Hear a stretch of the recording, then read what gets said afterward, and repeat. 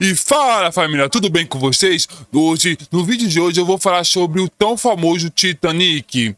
Vamos mergulhar nas, nas profundezas do Oceano Atlântico para desvendar cinco curiosidades sobre o possível afundamento do Titanic. Prepare-se para uma viagem emocionante através do tempo e do espaço, enquanto desvendamos o segredo dos por trás de um evento mais trágico da história da navegação.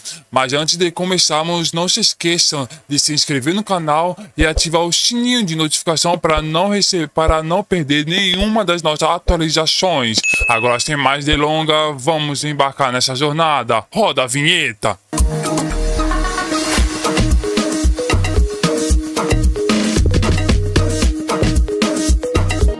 Curiosidade número 1: um, a fragilidade dos rebites.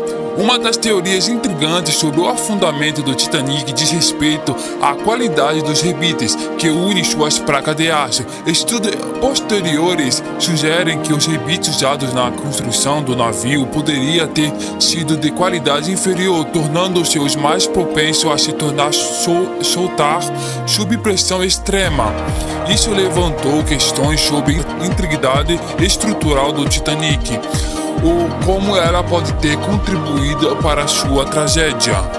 Curiosidade número 2: o papel do carvão no incêndio a bordo. Antes de sua partida inaugural, o Titanic enfrentou um incêndio significativo a bordo, que pode ter desempenhado um papel crucial em sua tragédia subsequente.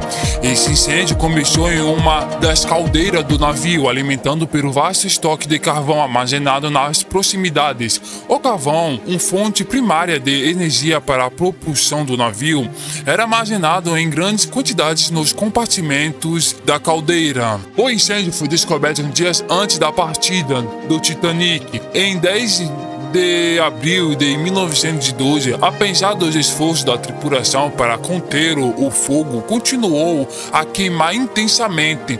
Estudo moderno sugere que o, que o fogo pode ter sido alimentado por combinações de carvão de baixa qualidade e condições desfavoráveis de armazenamento. O local onde o incêndio ocorreu era próximo ao lado este bordo do navio, exatamente onde o Titanic colidiria com o iceberg dia depois. O calor intenso do incêndio pode ter enfraquecido o casco de aço do Titanic nessa área específica, comprometendo sua resistência estrutural.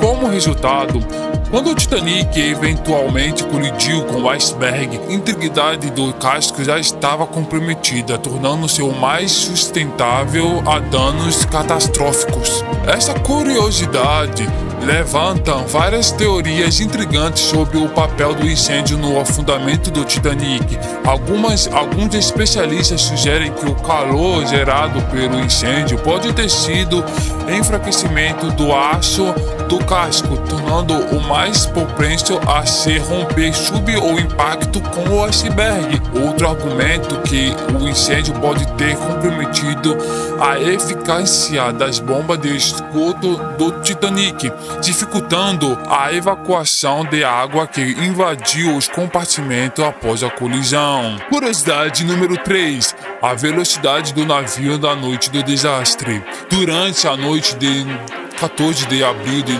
1912, o Titanic navegava em alta velocidade pelo Oceano Atlântico, buscando alcançar uma travessia transatlântica recorde.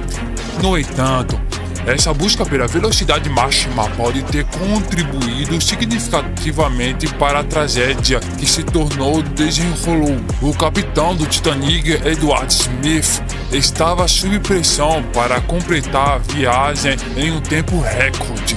A White Star Line, a empresa proprietária do navio, estava envolvida em uma competição feroz com outra companhia de navegação e bateu o recorde de travessia transatlântica era uma oportunidade de publicidade e prestígio. Navegar em alta velocidade em uma região conhecida por ter iceberg era uma decisão arriscada, especialmente considerando as limitações tecnológicas da época em termos de detecção e comunicação. A alta velocidade reduzia o tempo de reação da tripulação ao avistar o iceberg e aumentava significativa os danos em um casco de colisão. Quando o iceberg foi avistado, os oficiais do Titanic tentavam desviar o navio mas a velocidade combinada com a massa do navio fez com que ele levasse uma distância significativa para responder e manobrar. Essa combinação de alta velocidade e uma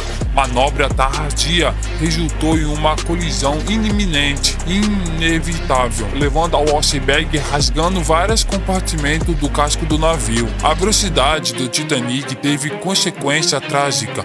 O impacto com o iceberg comprometeu a integridade estrutural do navio, resultando uma rápida inundação de vários compartimentos. A incapacidade de conter a entrada de água levou ao afundamento do Titanic por poucas horas, resultando na perda de mais de 1.500 vidas. O desastre do Titanic serve como um lembrete sombrio dos perigos de priorizar a velocidade sobre a segurança.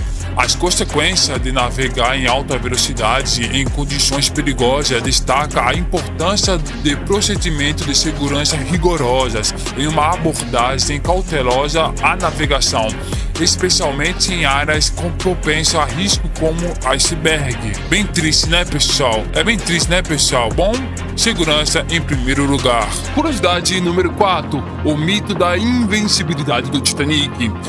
Contrariamente à crença popular, o Titanic não era considerado invencível antes de sua viagem inaugural, apesar do orgulho e da confiança depositado em sua construção. Havia preocupações legítimas sobre a sua segurança e capacidade de enfrentar os perigos do oceano.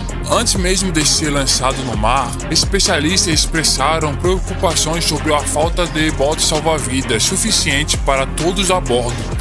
Além disso, alguns questionaram a resistência do casco do navio, especialmente em caso, em caso de colisão com iceberg ou outros obstáculos. Apesar dessa preocupação, a Watt Starline, a empresa proprietária do Titanic embarcou em uma campanha de marketing elaborada para promover o navio como sendo inalfundável. Essa estratégia foi projetada para atrair passageiros de alto nível e garantir o sucesso comercial da viagem inaugural.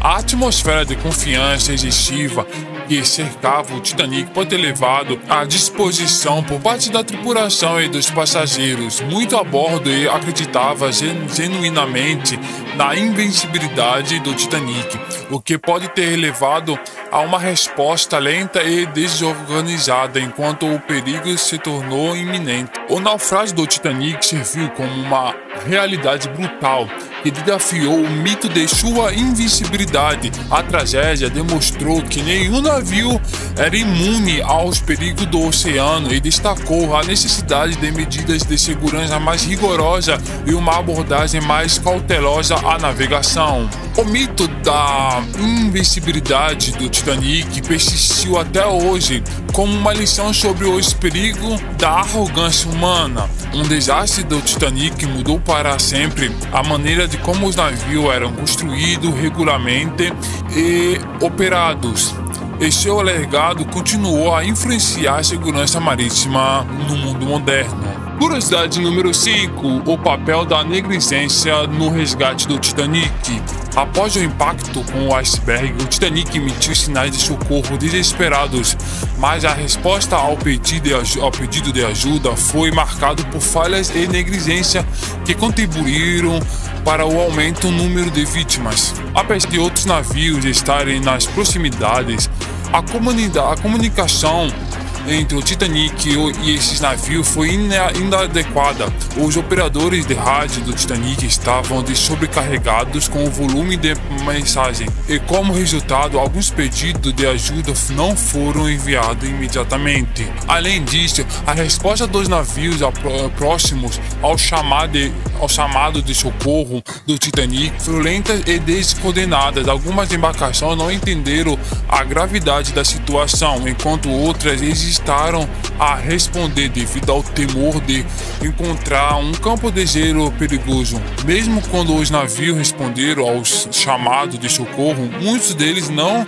chegaram a tempo de ajudar efetivamente no resgate sobre os sobreviventes. Algumas embarcações não tinham capacidade para acomodar um grande número de passageiros do Titanic enquanto outras simplesmente não se aproximaram do local do desastre. Essa falha na resposta ao pedido de ajuda do Titanic tiveram consequências devastadoras. Muitas das vidas que poderia ter sido salvas foram perdidas devido à demora na chegada de assistência. A tragédia expõe deficiências nos protocolos de resgate marítimo da época e levou a mudança significativa nas regulamentações da segurança marítima. O desastre Titanic destacou a importância da prontidão e da efic eficiência na resposta e mensagem marítima. As falhas nas comunicações e na condenação entre os navios próximos resultaram em necessidade de protocolo mais rigoroso para garantir uma resposta rápida e eficaz